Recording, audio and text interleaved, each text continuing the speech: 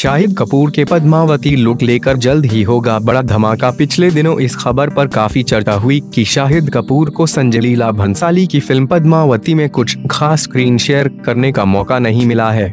चूँकि फ़िल्म के ट्रेलर में शाहिद के अधिक फुटेज नज़र नहीं आए थे, लेकिन अब खबर है कि फ़िल्म का नया ट्रेलर जारी किया जा रहा है, जिसमें शाहिद को अधिक तवज्जो दी जाएगी।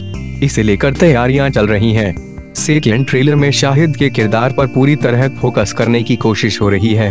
बता दें कि जब पहला ट्रेलर आया था तो रणवीर सिंह को सबसे ज़्यादा तारीफें बटोरने का मौका मिला था खबर यह भी कि मेकर्स की यह प्लानिंग पहले से थी कि वे बारी बारी से फ़िल्म के सारी कलाकारों को दिखाते हुए ट्रेलर बनाएँगे इसलिए आने वाले ट्रेलर में शाहिद के किरदार को ध्यान में रखते हुए सारी तैयारियाँ हो रही हैं।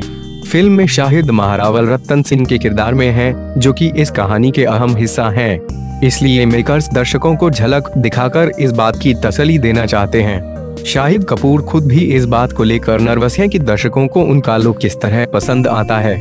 बता दें कि पिछले दिनों खबरें थीं कि शाहिद इस बात से दुखी हैं कि उन्हें रणवीर सिंह से कम स्क्रीन शेयर करने का मौका मिला है, लेकिन अब यह स्पष्ट हो गया है कि मेकर्स एक एक करके दर्शकों से सारे किरदारों को अवगत करा रहे हैं। फ़िल्म एक दिसंबर को रिलीज़ होने वाली है।